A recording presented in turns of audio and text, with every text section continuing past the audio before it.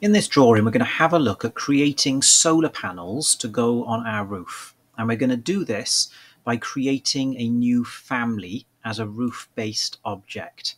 So we'll open up a family, or create a new family, sorry. And then when it brings up the list of family types, scroll down. Now we've got generic model roof-based. So the panels will then attach themselves to the roof regardless of the angle of the roof. Okay, we have a front and right elevation views and so forth, and we've got our upper reference level by here. So I'm going to create a new extrusion. Okay, now my solar panel is going to be two meters by one meters.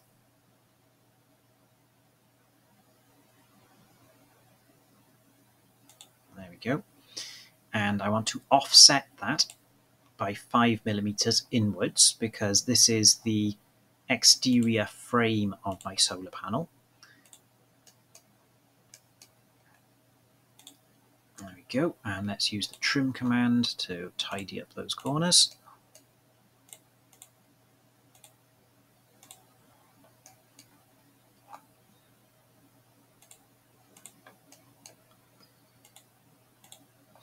Okay, now let's look at the material. We've got by category at the moment. I don't want it by category. Now, it may not bring up many materials to start with, so we'll click on the Home option by here and go into this Materials folder. And then we can actually find what we want. And I'm going to look for aluminium. There we go. And I'll press the little arrow to load it into this family and say OK. So now we've got aluminium as the material. Okay, big green tick. And now we want to position it. So I'll just change that to 1000 to center it. Likewise here, change that to 500. So now it's centered on the axis. Okay, so that's the aluminium frame. And you'll notice here we've got the extrusion start and end. Now, for now, I'm just going to leave the extrusion start at zero and change the end to 40. Okay. And if we just quickly have a look at an elevation, we'll have to just zoom in and find it. There we go. We can see that the frame of the panel we've created is here and this other object represents the actual roof construction. But we're just going to leave it flat by there for now. Okay, so we can see extrusion start 0, extrusion end 40. Let's go back to our upper level.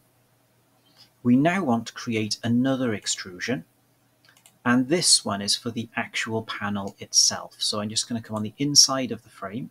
Let's swap to the rectangle command, make it a bit easier.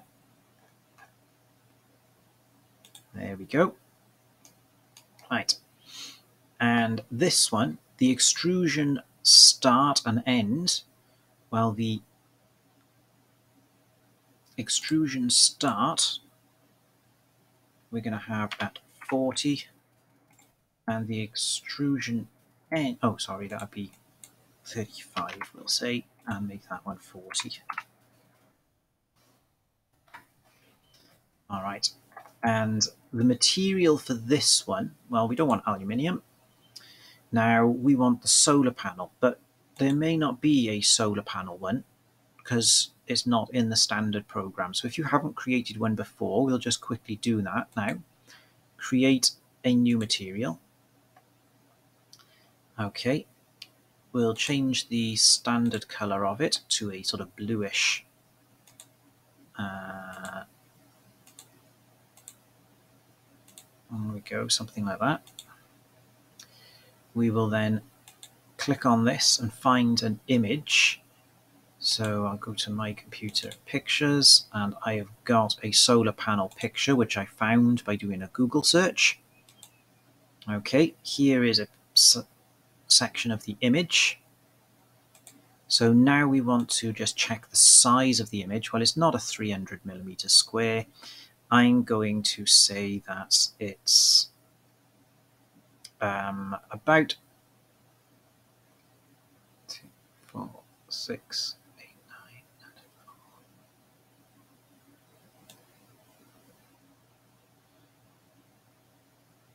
four hundred and well, let's unlink those so I can make it taller because the one I found was not a square. And I'll say it's about 800 900 go on 900 uh, wrong way round. Should have been 400 by 900 okay done. All right, and then if you want to, you can add a little bit of reflectivity to it or so forth. Obviously, it's not going to be transparent. Um, have a little look on the graphics if we want to change these to a bluish color as well.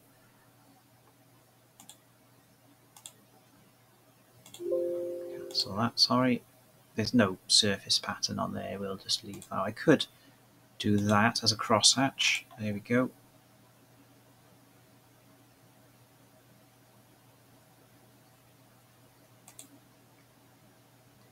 Go for a, a white and then the background. Oh, we'll go for the blues. There we go. Keep it open.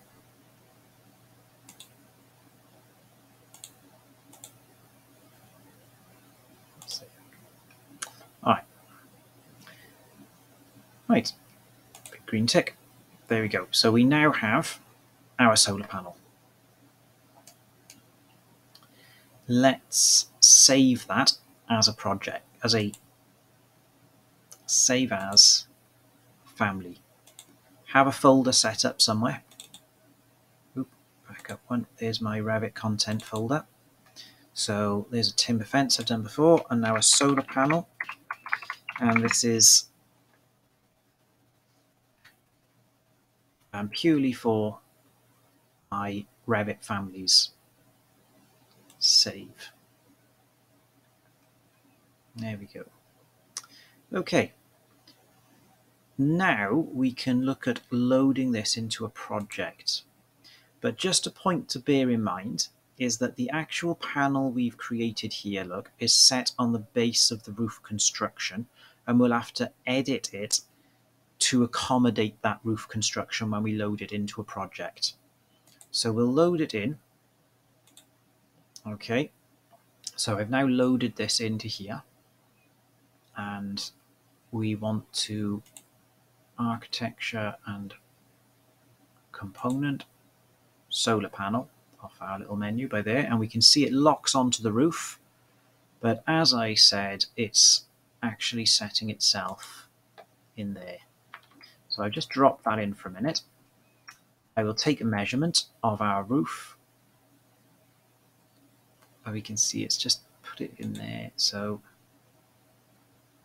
235. Okay, let's highlight our solar panel.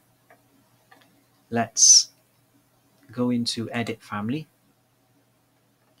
And now we want to click on there. Instead of start at 0, end at that, we want 235 by there and add that, make it 275.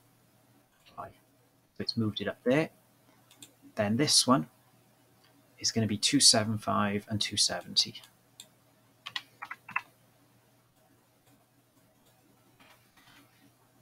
And apply. Okay, so we've now got that in the correct position and we just load it back into the project and overwrite. And now we can see it's appeared up by here. So let's have a little look at our 3D view.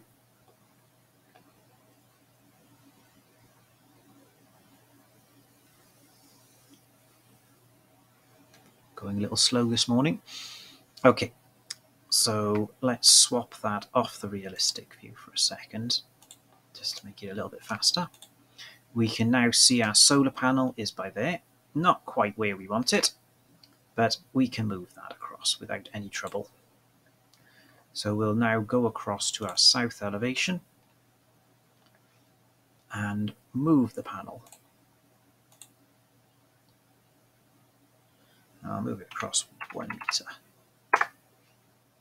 Okay, and let's say we want a few of these solar panels, copy them, or array them even. We will have four of them, and